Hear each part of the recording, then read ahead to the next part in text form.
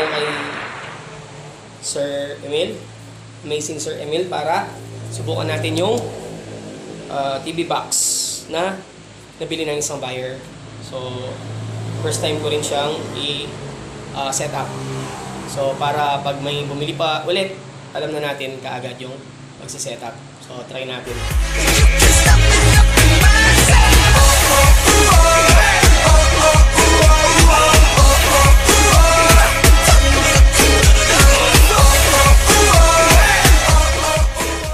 So, hello mga joggers. Ah, so, pumunta tayo sa house ni Sir Emil para sa pagsiset up ng TV box. So, meron tayong isang buyer na nakabili po ng TV box. So, ngayon, itatry natin i-set up sa TV ni Sir Emil para pagpunta natin kay buyer, alam na natin yung pagsiset up. At kung may mga future buyers pa tayo darating. Yan. So, para malaman din ng ating mga kasamang mga uh, resellers kung paano yung pagsiset up ng TV box. Okay? So, tingnan na natin yung, box na natin. Tingnan natin yung lamay. Pwede. Ito na siya. So, ito na siya yung mismong yan.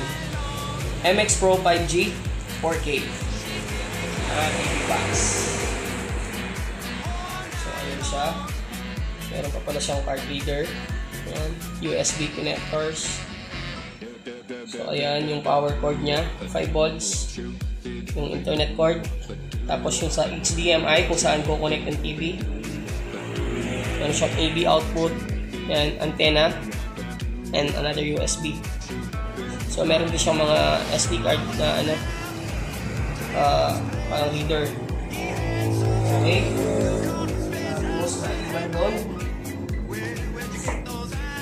Ayan. So, ito yung power cord niya. At ito yung magkukonect sa EV and remote. So, ito yung ating manual. So, minimum, minimum na uh, requirements para sa TV box is first, syempre, meron kang flat screen TV and Wi-Fi.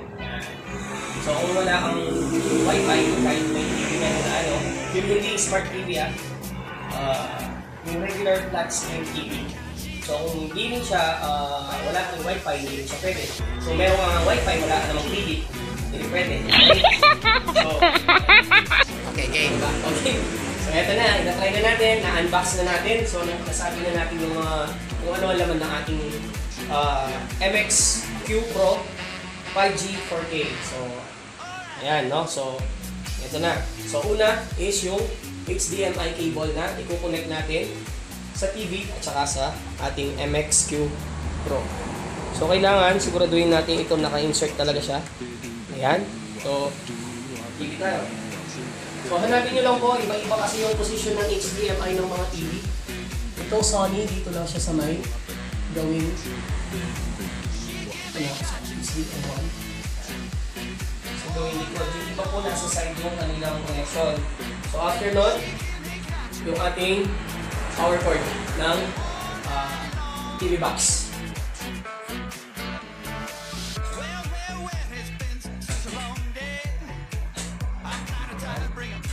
So, pag nakonect mo, may kulay blue na light ang lalabas. Then, see, TV. Yan, on natin.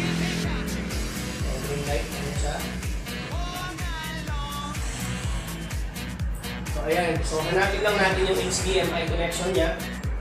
So, ngayon, nasa HDMI 1 tayo. So, from the remote ng TV, natin natin siya. Ayan na siya. So, si M-Box, may kulay, natin. So, lumabas. So, lumabas yan. Power on tayo, sa remote niya mismo. Kailangan lumabas si.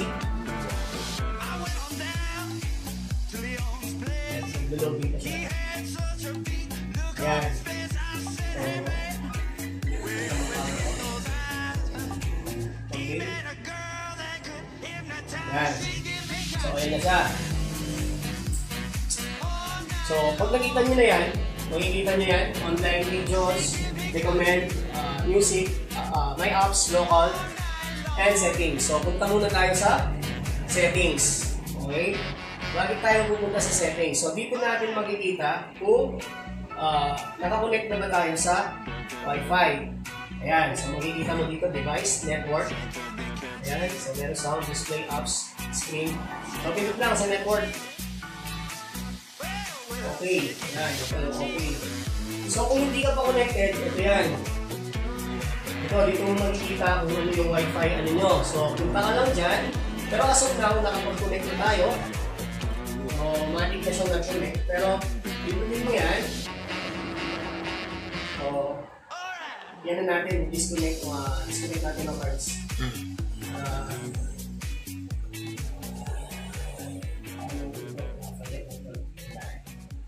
So ayan, halimbawa yan, Ah, mag-connect tayo, no? Connect tayo. So, ayan. So, ito siya. So, magkukonect ngayon tayo. Pindot lang sa Wi-Fi.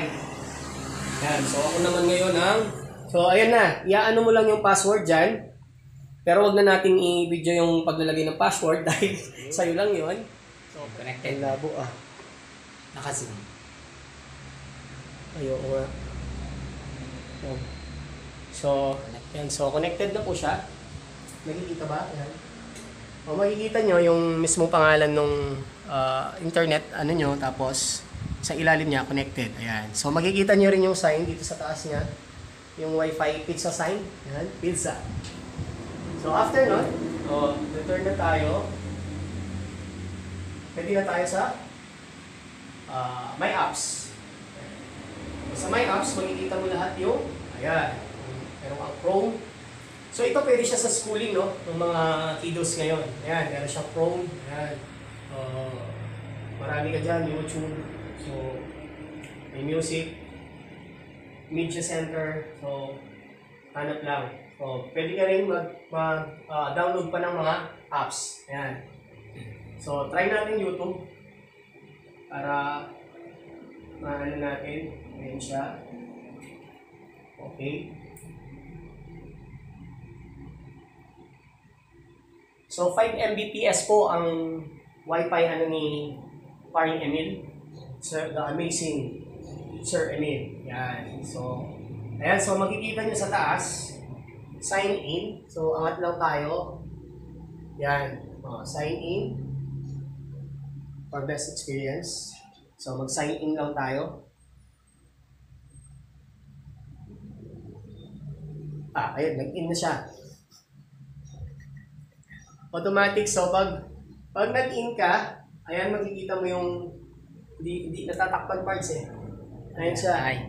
Taas. So, makikita mo na agad yung account mo. So, para sure ka na account mo, kasi kanina na ano kami, try. Punta ka lang sa library. And then, my videos. So, makikita mo na dyan yung mga video mo. Ayan. So, si Jagger Vlogger. Ganyan po yung ating mga videos na na-upload. So, pero kung gusto naman nating manood ng ibang ano, ah, ibang accounts or mag-subscribe sa ibang ah, ano, ayan, pwede subscription or search ka na sa taas. Ayan. Example, search tayo. Yan. Tie a yellow ribbon guitar tutorial. Bilitaw pala yung history ko dyan. Ayan. So, nag-aaral ako nung ano, nung tie a yellow ribbon. Ayan siya.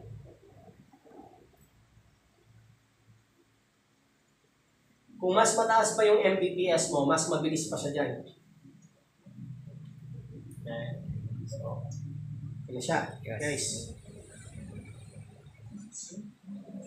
Okay na.